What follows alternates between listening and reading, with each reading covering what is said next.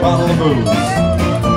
Now I don't blame him cause he running him the meanest thing that he ever did was before he left he went and named me Sue. Well now he must have thought that he was quite a joke and it got a lot of laughs from lots of folks. It seems I had to fight my whole life through. Cause some gal would giggle and I'd get red and some guy laughing I'd bust his head, I tell you, life ain't easy for a boy named Sue.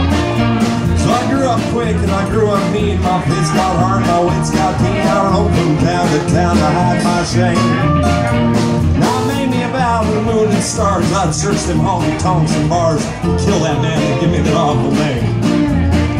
When I was Gatlinburg in mid-July, I just hit town and my throat was dry. I thought I'd stop and have myself a brew.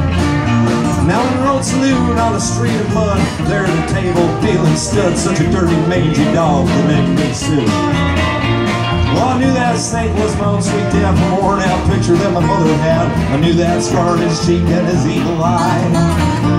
Now he was big and thin through gray and old, but I looked at him, my blood ran cold, and I said, My name is Sue.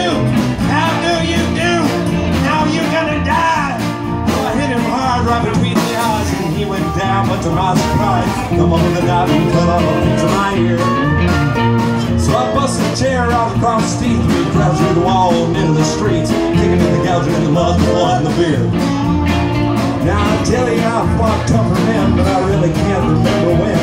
He kicked like a mule he bit like a crocodile. Now I heard him laugh and I heard him cuss me when first gun I pulled my first and he stood there looking at me. I saw him smile he said, son, well this world is rough and if a man's gonna make it, he's gotta be tough. And I knew I wouldn't be there to help you along. He said, I'd give you that name, and I said goodbye, and I figured you'd have to get tough and die. It's that name that helped to make you strong.